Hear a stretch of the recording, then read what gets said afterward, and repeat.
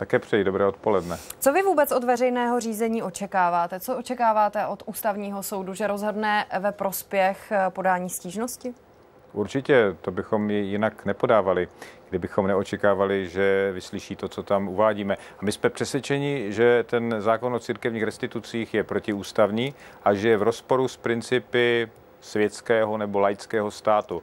A jsme přesvědčeni, že to, co ten zákon zajišťuje, je právě nespravedlivé a neústavní z toho hlediska, že poskytuje obrovskou výhodu finanční 17 církvím, kterým zajišťuje financování na x let dopředu a zároveň, že vlastně ten zákon rozhodl o restitucích, které jsou nespravedlivé z hlediska těch ostatních občanů v zemi, protože se dějí luxusním způsobem daleko, eh, daleko prostě výhodnějším, než byly například restituce, které proběhly v 90. letech. Co přesně je tedy eh, v té stížnosti, eh, kterou podali věci veřejné? Vy jste se k ní připojili, protože ústavní soud potom odmítl další dvě stížnosti, které mu přišly od ČSSD a KSČM. Tak co přesně v této stížnosti je?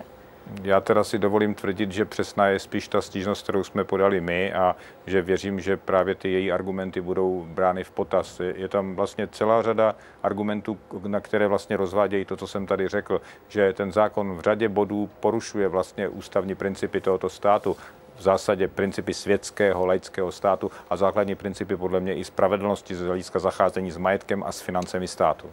Pane Zaorálku, proč jste tak dlouho nečinili, když to tak řeknu? Tak eh, ty návrhy, které jsme, na kterých jsme pracovali, tak jsme nedokázali pro ně získat parlamentní většinu a dostatečně širokou dohodu, což je samozřejmě chyba a nedostatek, to uznávám, ale to je něco, co nám snad nebrání právo se ozvat ve chvíli, kdy máme výhrady vůči návrhu, který v této chvíli bude teda projednáván před ústavním soudem. Ale myslím si, že se ozýváme právě proto, že jsme demokratická strana, protože se snažíme střežit ty principy elementární spravedlnosti. Ale rád bych řekl jednu věc. Já jsem trošku zaskočen tím, že jsem dnes obdržel tady to pozvání z ústavního soudu na jednání, které má být 29. května. A mě to na tom překvapuje to, že to je nařízeno takto rychle, protože součástí toho je, že jsme poprvé obdrželi stanovisko vlády, které určitě ústavní soud má delší dobu. To stanovisko je poměrně rozsáhlé a pro nás není jednoduché v těch 14 dnech, které zbývají, dát dohromady repliku, stanovisko k tomu stanovisku vlády a vlastně to celé prostudovat. Takže já v této chvíli zvažuji požádat o odklad jednání toho soudu, protože mi to skutečně připadá, že ten čas na přípravu není dostatečný. A jaký čas by vám připadal adekvátní tedy na přípravu, když vezmeme v potaz, že 29. května pro vás je příliš brzy?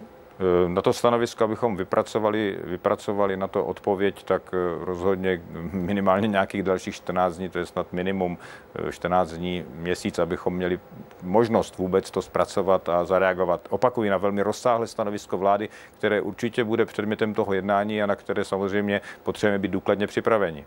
A vy už jste tady se s tímto požadavkem obrátil na ústavní soud?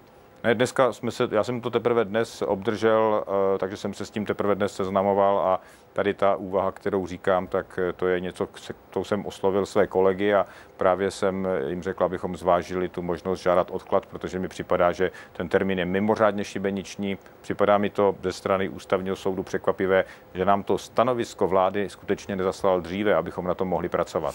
Poslední reakce od pana Zaorálka, apel od pana Polčáka na to, abyste přeci jenom zvážili ještě nějaký odklad projednávání církevních restitucí.